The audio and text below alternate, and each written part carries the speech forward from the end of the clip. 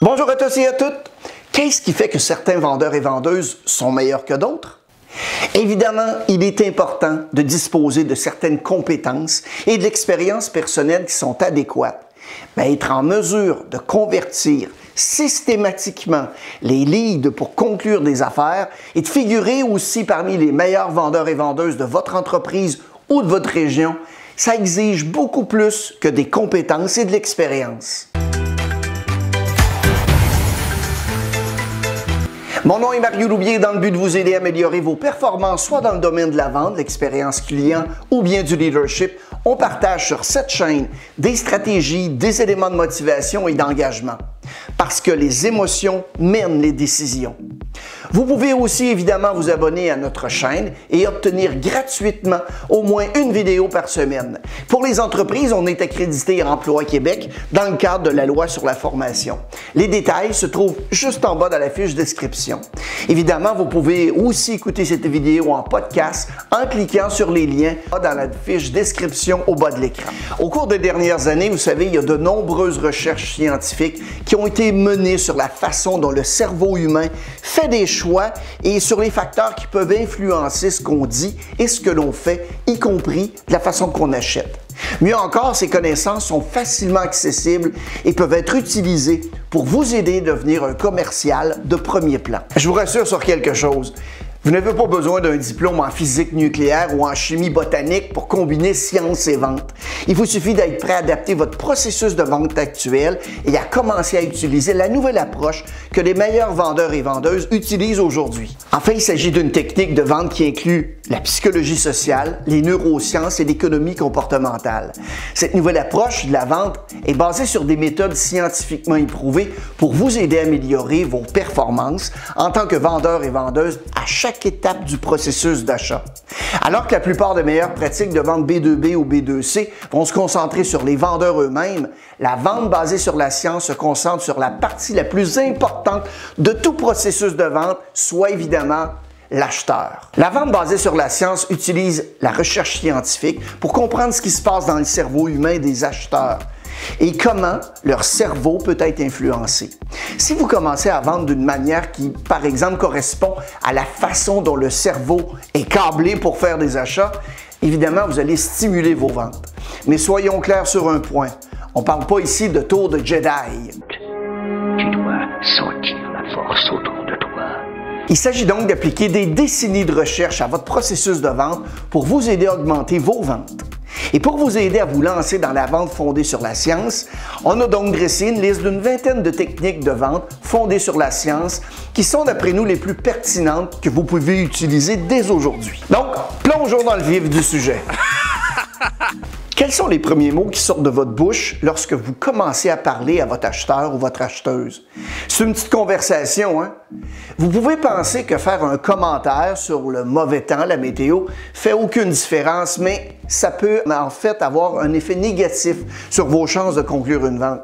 Si vous avez eu une mauvaise matinée, gardez-le pour vous parce que les recherches scientifiques montrent qu'il est plus profitable pour vous de commencer par un commentaire positif. Une étude de tipping.org a montré que les serveurs de restaurants qui se contentent de dire bonjour aux clients de l'hôtel et de leur donner des prévisions météo positives ont permis d'augmenter leur pourboire, tenez-vous bien, de 27% Combien de fois vous contactez vos prospects? La plupart des vendeurs appellent une ou deux fois puis abandonnent. Les recherches de Velocify démontrent en fait que faire six tentatives, c'est le chiffre magique. Vous pouvez améliorer considérablement vos taux de personnes rejointes en faisant 6 tentatives d'appel à vos prospects. Et de ce nombre, tenez-vous bien, 93% vont être convertis. À quelle heure est-ce que vous devriez appeler vos leads? Un acheteur peut être de bien meilleure humeur avec vous si vous l'appelez à une heure qui lui convient. Par exemple, à la première heure du matin ou à la fin de sa journée de travail. L'heure exacte va varier selon le secteur, évidemment, et n'oubliez pas les fuseaux horaires. Mais des études ont démontré que les meilleurs moments pour appeler sont généralement entre 8 et 9 heures, puis entre 16 et 17 heures. Ensuite, examinons le jour de la semaine. Est-ce que vous planifiez vos jours d'appel quand vous avez le temps ou quand vos acheteurs ont le temps? Les recherches à cet effet montrent que les acheteurs seront plus réactifs certains jours que d'autres. Donc, c'est pas surprenant que les lundis soient pas des journées très propices pour appeler les acheteurs. Mais est-ce que vous saviez que le mardi était aussi mauvais? En fait, le meilleur jour pour vous appeler diffère selon le secteur, alors assurez-vous de faire vos recherches pour comprendre la semaine type de vos acheteurs. Mais les données générales nous montrent que le meilleur jour pour appeler, c'est le mercredi ou le jeudi. Lorsque vous faites vos appels, quel numéro apparaît sur le téléphone de vos acheteurs? Si le numéro est bloqué, un numéro sans frais ou un numéro d'appel longue distance, croyez-le ou non, ils sont moins susceptibles de répondre au téléphone.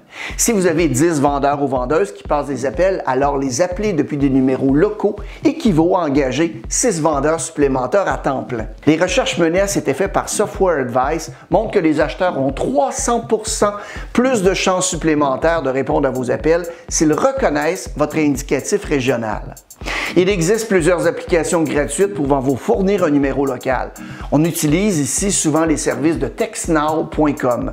Vous retrouverez le lien dans la fiche de description. Combien de temps est-ce que vous attendez pour contacter vos leads? La science nous montre que les acheteurs sont plus susceptibles d'effectuer un achat plus près dans le temps du moment où ils ont fait la demande initiale. Cependant, chaque minute d'attente avant de contacter l'acheteur va entraîner une baisse spectaculaire de son niveau d'intérêt. Certains vendeurs et vendeuses voient des leads arriver et attendent d'avoir un moment de libre plus tard pour y répondre. Si vous faites ça, vous commettez une grave erreur de vente. L'amélioration du taux de contact est certainement pas le seul facteur qui va expliquer un taux de conversion aussi élevé. C'est probable qu'une réponse rapide va renforcer la confiance et le rapport avec l'acheteur va améliorer aussi les chances de conversion. Donc, répondez toujours immédiatement aux leads de vente.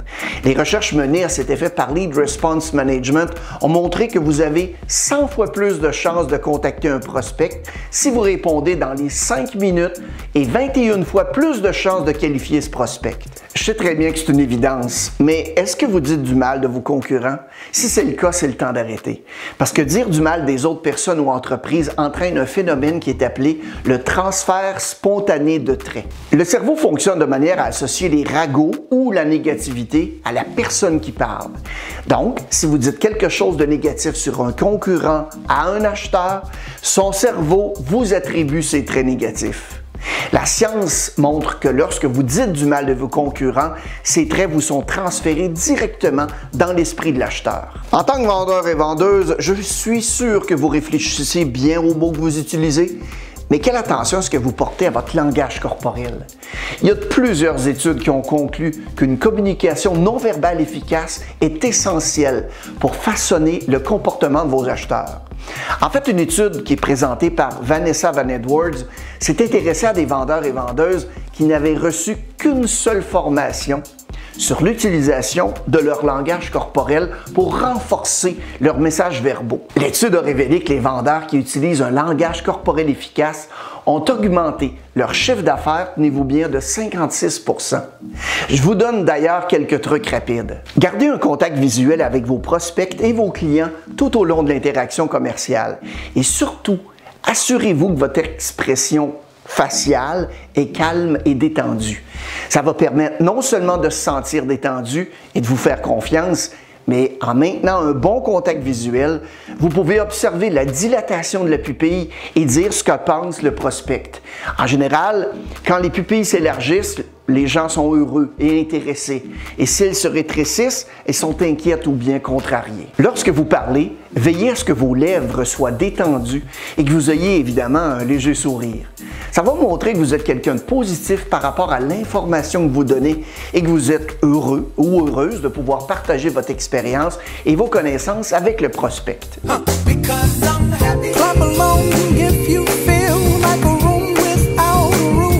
Les bras maintenant et le torse. Penchez-vous toujours légèrement en avant, la tête penchée sur le côté. Lorsque vous utilisez vos mains pour parler, placez toujours vos paumes vers le haut pour indiquer leur ouverture, contrairement à vers le bas pour indiquer une fermeture. Question pour vous. Est-ce que votre patron a une politique stricte de pas de médias sociaux au travail? Vous savez comme moi qu'il ne devrait pas. Lorsque les médias sociaux sont utilisés correctement, ça peut devenir un des outils de vente très efficaces. On parle pas ici de regarder des vidéos de chats.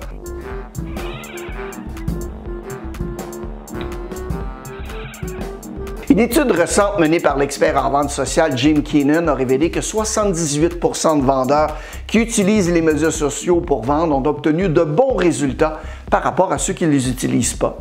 Et les représentants qui utilisent la vente sociale ont beaucoup plus de chances d'atteindre leur objectif et le taux de renouvellement. Les commerciaux qui utilisent la vente sociale vendent plus. Quant aux médias sociaux le plus précieux pour les vendeurs, en B2C c'est Facebook et en B2B c'est LinkedIn. Une étude publiée par le Harvard Business Review a révélé que 40% des vendeurs qui utilisent régulièrement ces deux médias sociaux peuvent attribuer des revenus à leur utilisation des réseaux sociaux. Est-ce que vos acheteurs vous trouvent passionnés? La science a identifié des personnes qui ont un type de personnalité connu sous le nom de driver. Quelqu'un qui transmet un désir irrésistible de réussir. C'est des gens compétitifs, optimistes et très ambitieux. La montée.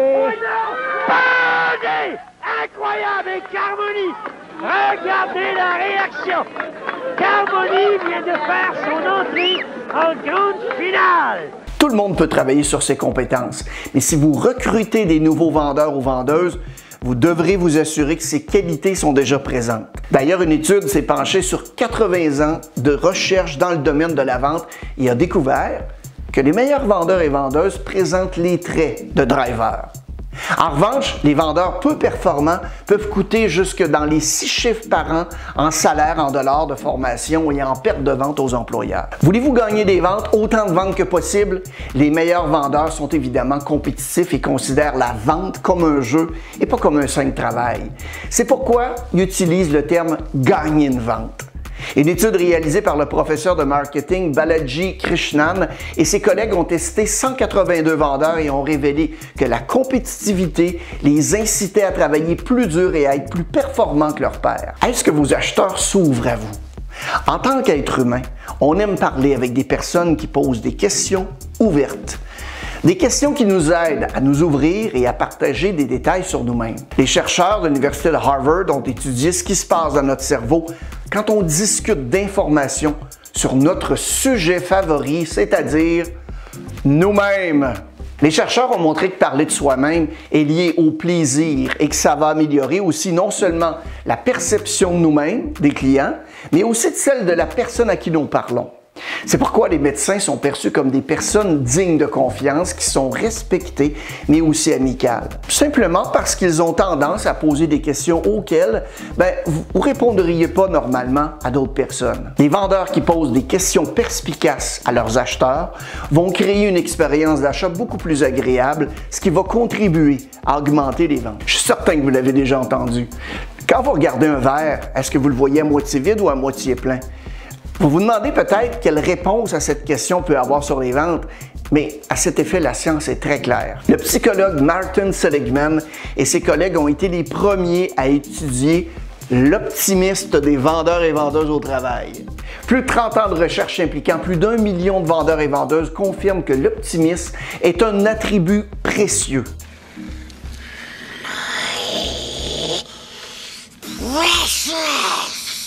D'ailleurs, la recherche la plus remarquable a permis de tester l'optimisme de 14 000 candidats de la compagnie d'assurance Metropolitan Life. Les résultats ont montré que les optimistes vendaient systématiquement plus que les pessimistes. Il ne s'agissait pas d'une étude unique, puisqu'ils ont pu répéter les résultats d'une autre étude impliquant des vendeurs dans plusieurs secteurs, notamment les produits de bureau, l'immobilier, les banques et la vente de véhicules.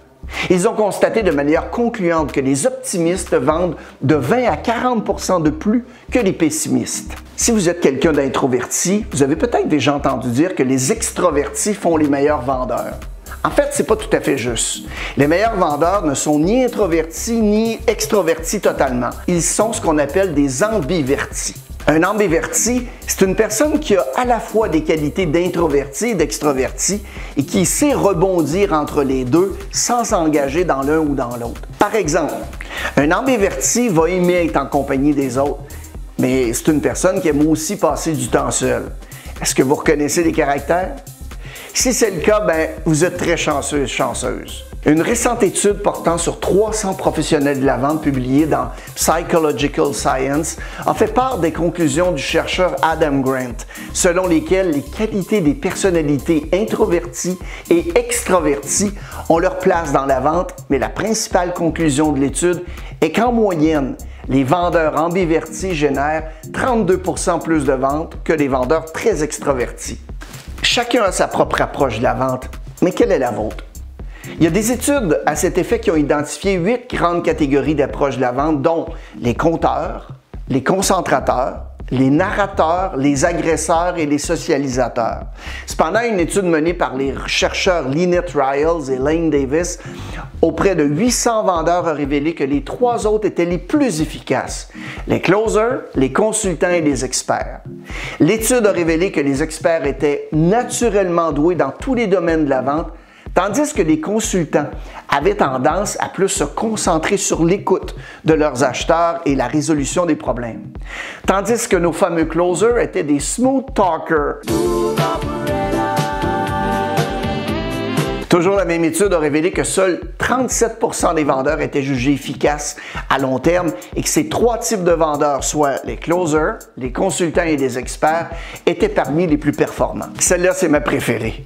Combien d'options est-ce que vous donnez à vos acheteurs? Dans une étude publiée dans le journal Consumer Research, Daniel Mochon a constaté que le nombre d'options de produits avait une grande influence. L'une des expériences les plus célèbres de Daniel était basée sur des consommateurs auxquels on demandait d'acheter à l'époque un lecteur DVD. Quand un seul lecteur DVD était présenté au client par un vendeur, seulement 10% des consommateurs l'achetaient sur le champ. Cependant, quand le vendeur présentait un deuxième lecteur de DVD, croyez-le ou non, le nombre de ventes augmentait à 66 vos acheteurs ont plus de chances de faire un achat s'ils sont confiants dans leur décision. Et donc, une façon de minimiser la perception du risque par le cerveau, c'est de lui présenter quelques options pour qu'il puisse choisir lui-même l'option la moins risquée. Êtes-vous assez observateur pour remarquer le comportement des acheteurs et surtout la façon dont ils vous répondent? La science montre que le fait de copier les gestes, les expressions, la posture de votre client peut considérablement améliorer la perception qu'il peut avoir de vous. Cette technique est connue sous le nom de faire le miroir. Elle est surtout utilisée dans les couples, mais elle est également utilisée sur le lieu de travail, lors des réunions de conversation avec des collègues et d'événements de réseautage. Une étude a été menée auprès de 60 personnes chargées de négocier entre elles et figurez-vous qu'en copiant la parole et la posture de leurs partenaires, elles ont pu parvenir à un accord dans 67% des cas, tandis que celles qui ne copiaient pas les partenaires n'ont pu parvenir à un accord que dans 12,5% des cas. Une autre étude réalisée en 2011 auprès de plus de 100 clients a révélé qu'ils achetaient plus de produits et avaient une impression plus positive de l'entreprise lorsque les vendeurs et vendeuses au détail étaient invités à refléter le comportement de leurs clients. Le fait de refléter le comportement verbal et non verbal de vos acheteurs va renforcer considérablement leur volonté d'être d'accord plus facilement avec vous et de vous faire confiance. Vous abandonnez pendant que vous êtes en avance ou vous continuez simplement sans jamais savoir qui arrêter? Il y a un phénomène connu sous le nom de coût irrécupérable. Ça se produit quand les gens ne veulent pas arrêter de faire quelque chose pour lequel ils ont déjà investi du temps, de l'énergie, des ressources, ce qui peut aggraver une mauvaise situation, au lieu de la considérer comme une occasion d'apprendre et d'affirmer leur processus de vente. Les vendeurs et vendeuses qui évitent l'erreur des coûts irrécupérables sont en mesure de consacrer une plus grande partie de leurs ressources à des opportunités qui sont beaucoup plus rentables. Quand les gens vous décrivent, est-ce qu'ils utilisent le mot confiant? De nombreuses études de Hoffel Group ont montré que lorsqu'une personne agit avec confiance, ça donne plus de poids à ce qu'elle dit. Mais le plus drôle dans la confiance, c'est que même si vous la ressentez pas, vous pouvez faire semblant.